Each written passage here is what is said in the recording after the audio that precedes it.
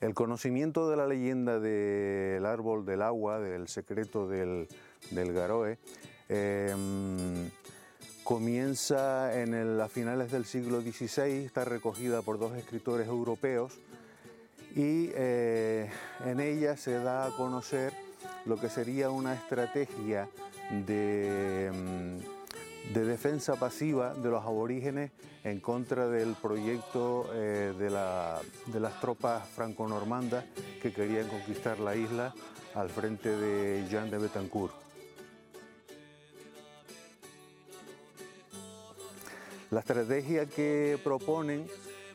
eh, para hacer desistir a las tropas europeas a conquistar la isla es ocultarles las fuentes de aprovisionamiento de agua para así tener que abandonar la isla por falta de,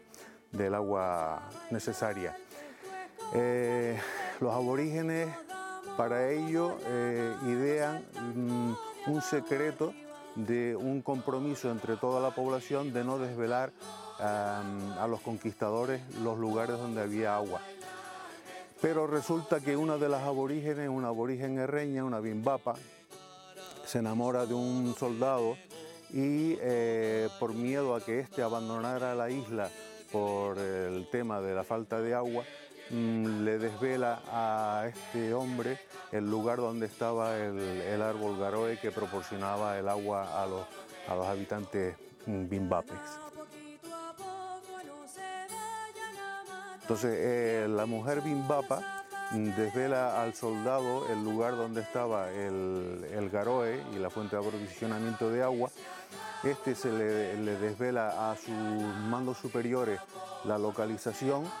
la localizan pensando de que era un sitio ficticio, pero se dan cuenta de que realmente existía el árbol y existía el recurso de que el árbol proporcionaba mediante la condensación de, la niebla el agua suficiente para,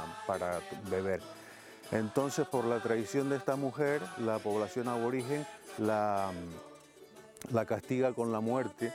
y entonces ahí está el tema de, mm, de la leyenda. La leyenda se va comunicando por tradición oral entre la población herreña y hasta el siglo XX, mediados del siglo XX, se vuelve a recoger en los textos, incluyendo mm, ya personajes con nombres, se va incrementando la, tradición